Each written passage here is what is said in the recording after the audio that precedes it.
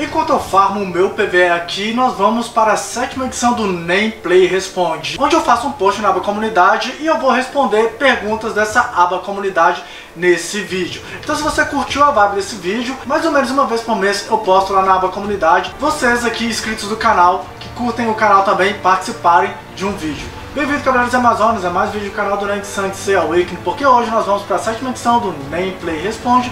Eu espero que vocês curtem a vibe do vídeo, esse vídeo um pouquinho diferente do tradicional, falando um pouquinho de várias coisas, onde vocês escolheram e não eu, beleza?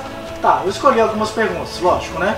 Mas vamos lá, começando agora para a primeira pergunta. Diego Portela mandou, não sei se dará aderência ao tema, mas meta de seis meses atrás versus meta atual, há chances de sucesso?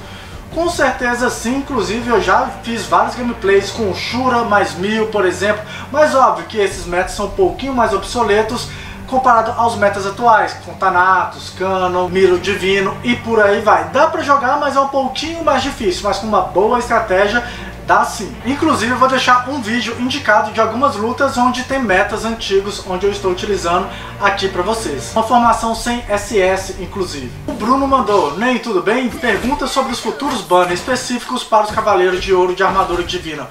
Qual você gostaria mais que virasse meta se pudesse escolher? Pra mim o Aldebaran, ele merece, coitado. O Aldebaran ele é um pouquinho estranho, podemos dizer, mas isso é até mesmo no desenho. Provavelmente os futuros metas e o que a empresa deveria também focar seria os cavaleiros mais raspados ou até mesmo fazer uma enquete, né, onde os próprios jogadores poderiam escolher aí quais seriam, tipo assim, ah, dos 12 cavaleiros, iríamos tirar o Aiori Divino, obviamente, dos 11 cavaleiros, quais que vocês curtem mais. E aí tentar fazer esse personagem top. Mas isso é relativo, já que sempre o próximo personagem tende a ser melhor do que o anterior, né? Então isso provavelmente não deverá acontecer. Guilherme Silva mandou, nem você acha que os ranqueados deveriam ser melhor aproveitados, tipo o Skilla? Com certeza, eu já falei isso em várias vezes aqui no canal, em outros tópicos, enfim. Eu acredito que sim, tinha que ter um balanceamento, inclusive eu pretendo falar, fazendo um vídeo falando somente sobre isso, da importância de termos tanto classe A, classe B voltados para o meta também, mas a estratégia DGT, né, financeiramente falando, a galera só tem que jogar com S e SS, e é por isso que ela ignora esses personagens. Mas vamos mostrar meu contra-argumento em algum vídeo futuro. Paulo Guimarães mandou, Fala Ney, quantas gemas aproximadamente temos que usar para pegar um classe S por fragmentos? A média fica entre 350 gemas avançadas a 450 gemas avançadas num banner de 7 dias, tá certo? Se for um banner de 14 dias, por exemplo, vai diminuir, isso dando 40 diários. Pretendo fazer um vídeo também falando sobre dicas de como você reduzir a quantidade de gemas avançadas que você gaste para pegar algum banner específico. Já tenho aqui a, aí roteiro, né, já escrito, só falta mesmo gravar e postar para vocês. Mas é entre 350 a 450, isso dando 40 tiros diário, beleza? Reforço também que é muito importante que você não gaste todas as gemas no primeiro dia, que aí aumenta para uma faixa de 500 gemas mais. Olha a diferença que dá só de você ter que adiantar talvez o banner por 6 dias e jogar umas 100 gemas fora. O Enzo mandou qual é o sentido da vida? Viver bem. Só tem que descobrir como viver bem. O Alexandre mandou. Você acha que o sistema de rank precisa ser reformulado? Faz meses que estou preso no rank prata barra ouro, pois todos os meses oponentes são nível alto de platina. Dá até para vencer, mas é impossível escalar rank desse jeito. A diferença de rank é muito alta. Então, o ranqueamento do jogo ele é a moda do mercado, podemos dizer assim. Ranqueamento é pareado conforme o nível de conta que você tem. Então, mesmo o cara esteja lá no nível platina, mas ele tem um nível de conta mais ou menos igual ao seu, ele vai enfrentar o nível de rank igual ao seu e você não enfrenta, por exemplo, no nível ouro, dois elos acima ou dois elos abaixo. Você enfrenta no máximo um elo mais um elo menos, tá certo? Não fica tão discrepante assim. Acontece de você enfrentar uma galera muito mais forte que você, caso seja um jogador que não jogue sempre, né? Por exemplo, o cara é um nível lendário, mas ficou um mês sem jogar e ele tá subindo de rank, aí você vai pegar esse jogador esporádico mas normalmente você vai enfrentar a galera que é do seu nível. Se você está muito acima do seu nível, por exemplo, você é uma conta ouro, mas subiu para uma conta platina, aí você não vai aguentar, porque você vai ter que melhorar aí os seus personagens para chegar no nível platina, que é mais ou menos o que está acontecendo na sua conta. Você está naquela parte de transição do ouro para platina, por exemplo. Tô com frio mandou. Nem você acha que tem um personagem que não pode ser cauterado? Não, todos os personagens são cauterados, tá certo? E não faria muito sentido não ter um personagem que não seja cauterado também, porque se ele fosse bom, ele seria quebrado. Então todo personagem tem que ser cauterado, senão seria um personagem chato. Todo mundo queria ter, todo mundo vai querer usar, e aí vai ficar chato. Por isso que a Tecente tem cuidado nessa parte na hora de desenvolver algum personagem. E caso a galera ache ele muito quebrado, como foi o lançamento do Thanatos, por exemplo, ou até mesmo do Cano, sempre eles preparam algum próximo personagem para cauterar aquele que está quebrado. Pedro Santos mandou, por que Ney e não Jefferson? Porque Ney é muito mais curto, muito mais fácil de decorar, muito mais fácil de escrever, muito mais fácil de achar. Sou mais Ney do que Jefferson. Para quem não entendeu, é porque o meu nome é Jefferson e não Ney, para quem achava que meu nome é Ney. O Alone mandou, nem quanto tempo de vida você acha que o Saint Seiya tem? Muitos anos, na verdade, só que ele não é um jogo mais com hype. Da mesma forma que temos o Free Fire, temos Yu-Gi-Oh! Duel Links, Summoner's War, Call of Duty, por exemplo, é um jogo que vai ficar com a sua fanbase aí jogando por muito tempo e ele só acabaria mesmo se lançasse algum outro Cavaleiro do Zodíaco mais da hora ou algum outro jogo com a mesma vibe de RPG de turnos PVP igual ele tem hoje, tá certo? Enquanto não existe algum outro jogo para concorrer de nível de PVP que seja mais legal que atualmente não encontrei nenhum, acho bem difícil, além de pelo menos a galera brasileira curtir pra caramba Cavaleiros do Zodíaco. E referente a lançamento de personagens, eles têm para lançar personagem por uns 5, 6 anos, já que eles lançam um personagem por mês, então imagina quanto tempo que isso deve demorar. Isaías Pereira mandou. Por que os youtubers de Saint Seiya Awakening sempre usam em suas thumbs imagens de fillers, franquias fillers, CDZ ou personagens que não existem no game? Para chamar atenção, para fazer uma capa bonita e é totalmente estratégico, tá certo? Se aquele personagem vai chamar alguém para clicar, por que não fazer? A importância da capa é que a galera goste da capa e clica no vídeo, tá? Fica uma dica aí. Thiago Ramon mandou. Bem, você acha que as cartas extras lançadas no início do game merecem uma alteração para equilibrá-las com as recentes que estão sendo lançadas? Tem o Cloth Repair, né, ou Despertar da Armadura, para balancear novamente, eu acredito que não. São poucos personagens que são realmente desbalanceados. Se você pegar um Milo normal, um Shura, dá para jogar com eles de boa. Inclusive, tem personagens tipo Faraó, que foi lançado depois, o Ajax, que para mim é pior do que o Milo clássico e até mesmo o Shura. Tá? Então não precisa de um balanceamento, precisa mesmo de alguma estratégia adicional. Inclusive agora a Artemis vai bufar bastante aí o Milo clássico, né? Vai ser bem da hora aí usar o Milo clássico com a Artemis e eu já estou empolgado de pegar a Artemis só para testar o Milo clássico e não testar o Milo divino. O Guilherme Librello mandou aqui.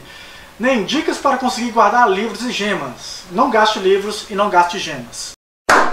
Na verdade, a mesma quantidade de livros e gemas que todos possuem free to play é a mesma, tá? Ninguém pega mais do que você, ninguém pega menos. Mas de qualquer forma, vou deixar indicado aqui nos cards um vídeo onde eu mostro como é que eu faço meu gerenciamento de gemas na minha conta e como eu faço para gastar mais de 400 gemas na minha conta. Caso algum de vocês não tenham visto esse vídeo, link nos cards. E livro não tem muita mágica onde der para comprar free to play é você comprar via free to play. Atualmente o único lugar que eu não gasto, né, recursos para pegar livro de habilidade é na troca limitada, que eu ainda não acho que vale a pena, só se você tiver infinitas gemas avançadas que vale a pena, tipo mais de mil. E no mercado seção itens, aqui também eu não compro porque eu acho que é muito caro livro de habilidade aqui. E na Torre Maligna, né, que se você abrir três daqueles baúzinhos, você consegue fragmento de livro de habilidade, mas é muito caro pela quantidade de diamantes que você gasta. Tirando isso, eu sempre tudo que tem um lugar para trocar sobre o fragmento de livro de habilidade, eu dou prioridade. De qualquer forma, tem um guia de drop de livro de habilidade um pouquinho desatualizado, né?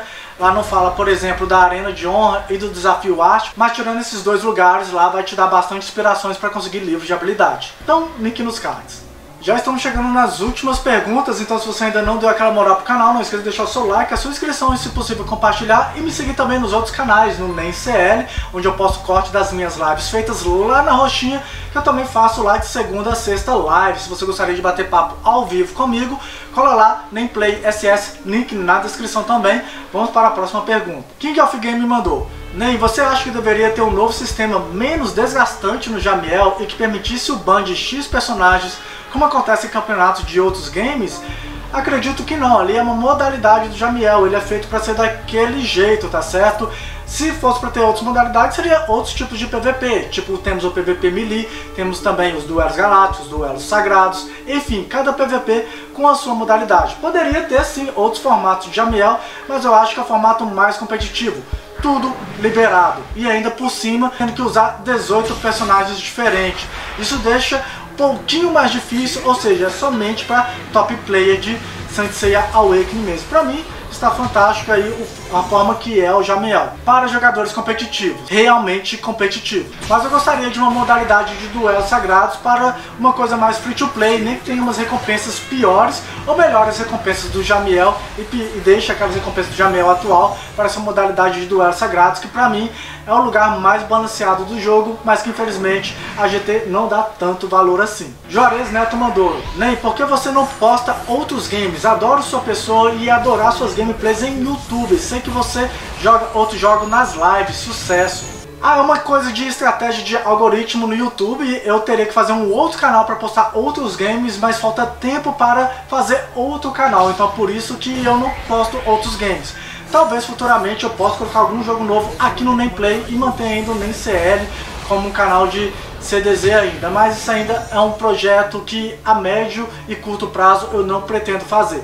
Por enquanto, outros jogos somente nas lives na roxinha, até que eu tenha tempo sobrando para me dedicar a algum outro canal, beleza? Mas sim, eu tenho vontade de fazer outros canais de outros games, principalmente de notícias, né? E não voltado para dicas. Mas aproveitando aí seu gancho, me acompanha lá na live. Quem ainda não me acompanha na live, quem sabe vocês me inspirem também a fazer algum outro canal de games, tá? Mas é um projeto ainda que talvez em 2021, sei lá, possa sair também. Eu tenho bastante vontade assim, de montar um canal de notícias. Ou de opinião, ou de análise, mais ou menos como o Ataque Crítico, Combo Infinito fazem para quem acompanha esses dois canais aí, que eles falam muito sobre notícias de lançamento de jogos e opiniões sobre jogos também, que é uma vibe que eu curto pra caramba que antes eu não conseguia fazer porque eu não tinha um PC, né? Agora já tenho um PC e consigo fazer. Vamos para a próxima pergunta. William Custódio, o que você acha da ordem de lançamento de personagens? Exemplo, Shijima do ND acabou de sair. E agora teremos supostamente o Milo Divino de Soul of Gold, que eu acho que ainda não é de Soul of Gold, tá?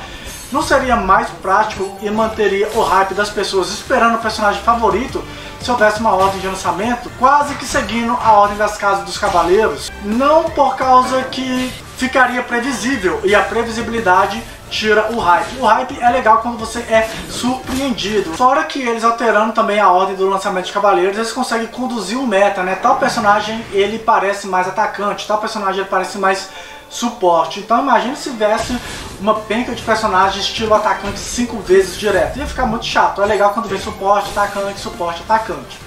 E o irmão do William Custódio, o Diego Custódio, mandou aqui, nem o que você acha que acontecerá com o jogo? Daqui a um tempo, por exemplo, chegará o momento que acabarão os cavaleiros a serem adicionados e o que você acha que acontecerá com o jogo nesse momento? E o que será que irá manter o jogo vivo nesse momento?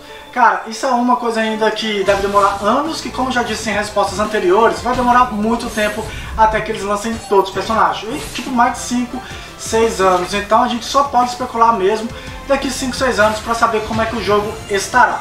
No momento, isso daí ainda não é coisa que a gente tem que se preocupar, beleza? Tanto nós, jogadores, quanto a própria empresa também já deve ter um cronograma aí de anos para serem lançados no jogo referente a personagem novo, que é a única coisa que mantém aí o meta rodando, beleza? Essa aí foi a última pergunta que nós tivemos hoje do Nem Play Responde. Se você quiser mais vídeos de Nem Play Responde, dá uma consultada aí no canal que tem mais seis vídeos, inclusive de Nem Play Responde. Espero muito que vocês tenham curtido a vibe do vídeo, mais vídeos que vocês estão ligados, tem esses aí na tela, os indicados nos cards. E nos vemos no próximo vídeo ou na próxima live. Valeu e fui!